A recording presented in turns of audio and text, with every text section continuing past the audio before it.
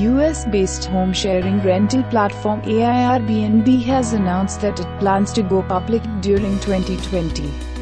We have already said that we are taking the steps to be ready to go public in 2019, doesn't mean we'll go public in 2019, co-founder Nathan Blecharczyk had said in March.